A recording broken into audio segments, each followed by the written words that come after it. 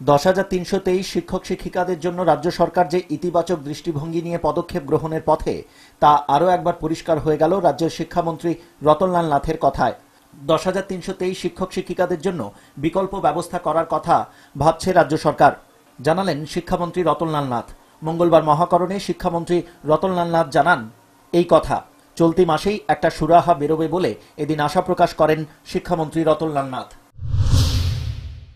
আমরা বিধানসভায় বলেছি, বিধানসভার বাইরে বলেছি যে রাজ্য সরকার এবং আমাদের রাজ্যের মুখ্যমন্ত্রী, আমাদের মন্ত্রিসভা সবাই একমত তাদেরকে কিছু আমরা করব।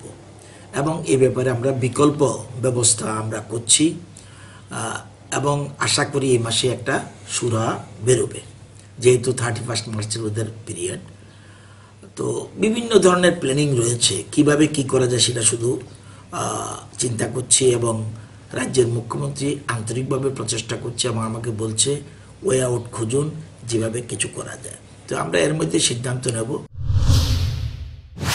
পাশাপাশি শিক্ষামন্ত্রী রতনলাল নাথ এদিন জানান ইতিবাচক চিন্তা ভাবনাই করছে রাজ্য সরকার কিছু একটা করা হবেই। পজিটিভ চিন্তা ভাবনাই করছি আমরা কোনো নেগেটিভ চিন্তা ভাবনা করছি না। এখন তাদের যে বিকল্পটা সেটা কি? আমাদের প্ল্যানিং হলো যারা বর্তমানে যেভাবে চলছে ধরুন যে পয়সা কড়ি পাচ্ছে, সেটা যেন মোটামুটি এর ধারে কাছে যাতে রাখতে পারি, আমরা প্ল্যানিং করছি। কীভাবে কি করা যায়? কিন্তু আবার সবটা মনে রাখতে হবে, সুপ্রিম কোর্ট হাইকোর্ট আছে। তো আগেও একবার আপনারা জানেন যে বামেদের সময় এরা কিছু পোস্ট ক্রিয়েট করেছে, করার পরে যখন লোক নিতে গেছে, তখন কন্টেম্প করা যে সরকারি অফিসার যারা তাদের বিরুদ্ধে তৎকালীন শিক্ষা সচিব এবং চিফ সেক্রেটারি তাদের কিন্তু কন্টেম্প করা হয়েছে হাই, সুপ্রিম কোর্ট থেকে। তো এটাও তো ঠিক যারা যাতে আদালত অবমাননা হয়, আদালত অবমাননা হয়, আবার তাদেরকে কিছু করা, সেই পথটাই আমরা চিন্তা করছি।